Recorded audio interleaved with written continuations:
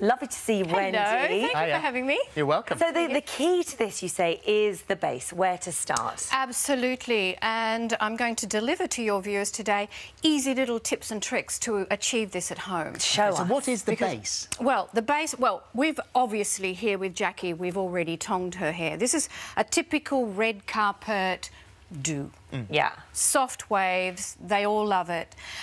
The secret is not to use too much product, no mousse, no hairspray. Do a beautiful tonging, and then I'm going to show you the recipe.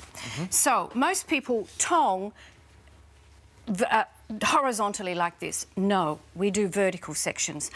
Only three, maybe maximum four. Oh, really? So quite so yes. sections then. So obviously we've tonged here already.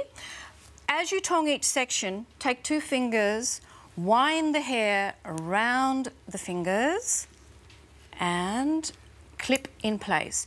Do not drop it down until it's cold. This is cooking time. Super essential. So the cooling process to- is just as important as the heating process. Oh no, it's everything. It's the cooking time. If you drop it down before it's cold, you're going to loosen the wave too much. Okay. It It's won't the equivalent be of a perfectly Mary Berry soggy bottom. Ah. Yeah. Equivalent to? Of a Mary Berry soggy bottom. Cooking time on baking. Bake off. Oh, Bake Off okay. yeah. Probably.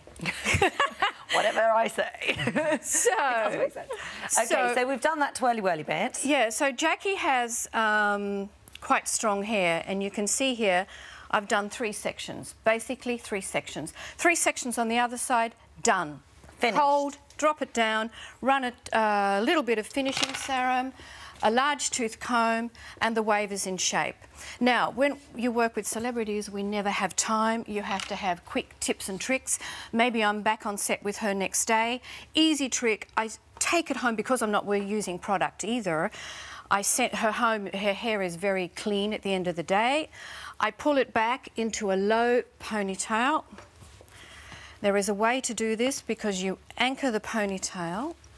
I'm going to use a beige band so you see it. First anchor on the first wave, second anchor on the second wave. Take the ends, wrap them round. Oh, wow. So you don't get bumps Anchor. in your... It's perfect. You sleep with that, wake up next morning, drop it out, and you have beautiful waves. It's preserved it. Also fantastic is I know a lot of you viewers of ho- at home have placed rollers in your hair, tongs, you end up with it too curly. This trick is amazing, and sometimes I do this if I want to have hair that looks very easy in front of the camera. After you've rolled it, tie it into a sausage and clip it up on top while you have your breakfast or doing your makeup. This twist will just soften curl down to make it look very easy and lifestyle. It's a beautiful trick. The important thing is to keep the ends flat with your pins because that's going to give it that lifestyle look. Et ah, voila. Oh, very good. Easy actually little relatively tips. more simple than you think. Oh, you know, when you work with celebrities, they never have time. They love it if you're quick. You need to know what you're doing. And these little tips and tricks have just come about because of having to work fast. Yeah, yeah. but interesting great. that you say less is more with the product. Oh, absolutely, because hair has memory. This is my opinion.